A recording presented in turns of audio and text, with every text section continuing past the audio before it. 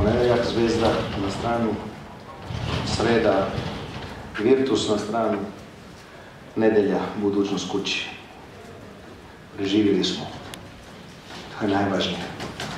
Izgubili par igrača, ali igrali smo tvrdo, borili se, grešili, ali na kraju ja mislim da smo zavredili pobjedu i napravili smo sve što smo mogli da dobijemo u utakmicu. Dva igrača su stali 12 trojka, kombinova za 12 trojka mi uspjeli dobiti utakmicu. Iskreno vam kažem, e, treneri se trebaju uvijek brinut, mislit, radit, a nek moji igrači uživaju. Malo se odmore. Bilo je jako, jako napadno. A ja malo ću razmisliti kako neke stvari srediti sad. Hvala. Da li imate pitanja za gospodina Trinkjeri? Ako imate, molim vas da se predstavite da što skoro redakcije dolazite. Bojane. Sport. Kako bi izgledalo ovo na tribinama, novi rekord Double League? Pa da ti iskreno kažem, ja mislim da ušli smo u utakmicu ono baš umorni, cedini i ovakva energija, bila je baš ono ko viroza energije. Bilo je fantastično. Grobari su nam puno, puno, puno pomogli.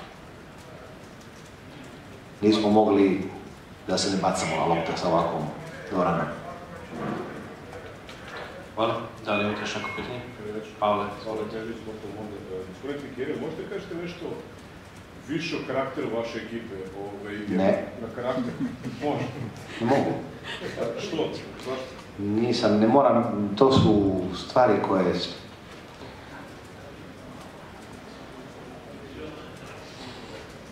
Nije trenutak za to. Ja sam zbilja zadovoljan, sretan za moje igrače.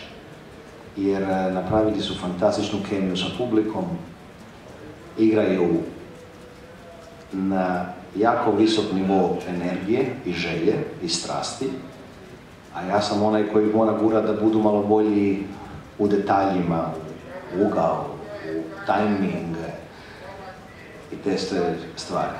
Danas smo dobili utakmicu jer smo igrali jako dobru pikarol obranu. Budućnost ima najbolje bekove u ABA ligu za čisti pikarol, Ivanović i Kops. I to kad misliš i pripremaš utakmicu koju nismo imali vremena, to boli glava. I onda idem kući sa... Želio bi da svi shvate koji vole partizan koliko ovi igrači se trude za, za ovaj dres. A moj posao je da to bude malo bolje. Hvala. Hvala. Ove, znam da ne Nema rajka, mi super večeras.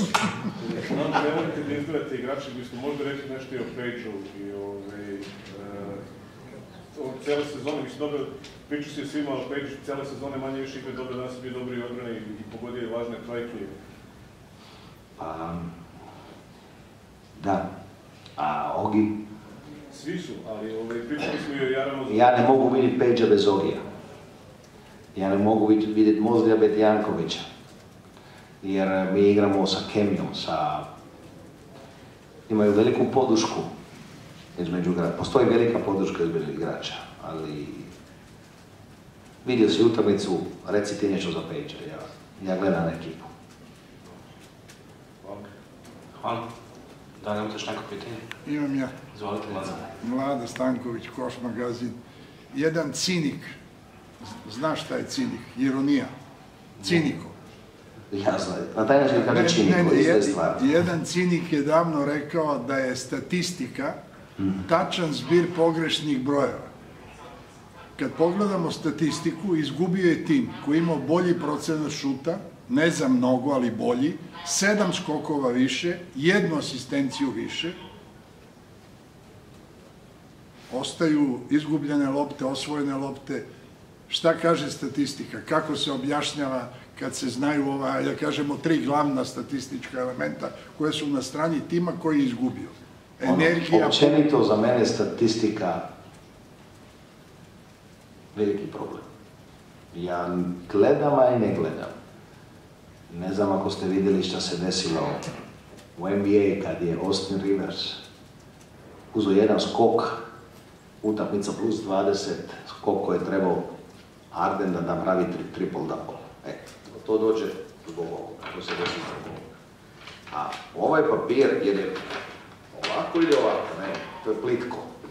Nema sve ono što je znoj. Ne- ne vidi se sve. Ne vidi se sve. Ni publika. Ni- Nema, dobro, piše, ima ih puno. Da. Ovdje piše gore, ima ih puno. Danas bi bilo puno. Dobro, ali meni statistike, baš to je više ono, ko mora pričati, napisati o utakmici, mora gledati statistiku. Ali ja gledam šta su ostavili moji igrači na terenu. Samo zato smo dobili. Dva igrača dali 70% trojke, ono, 12 trojke i dva igrača, mi nismo ih jedan put uhvatili. Zadnja trojka Nik- Nikolić je bio, Ara- Jaravac mu je bio ovako i zabio trojke. Evo mi dobili utakmicu i zato idem kući sad. Zadovoljno. Ne, baš zadovoljno idem kući. Gotovo? Ukoliko je to Zoli sve, Velika, ako možemo ići kući. Ajde. Doviđenja. Može Franca ove nedelje. Ove nedelje moramo ići.